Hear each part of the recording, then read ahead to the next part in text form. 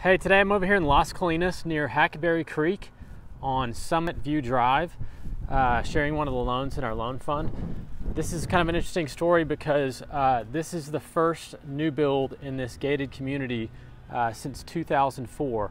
Most of the homes uh, over here were built in the late 1990s or early 2000s, and so um, they're excited to have a new build uh, in this gated community.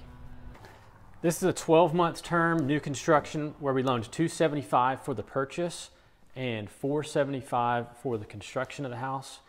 Uh, it's a five bed, five and a half bath uh, house, 4,750 feet, um, and it's expected to sell for right at a million dollars, which makes our loan to value approximately 75%.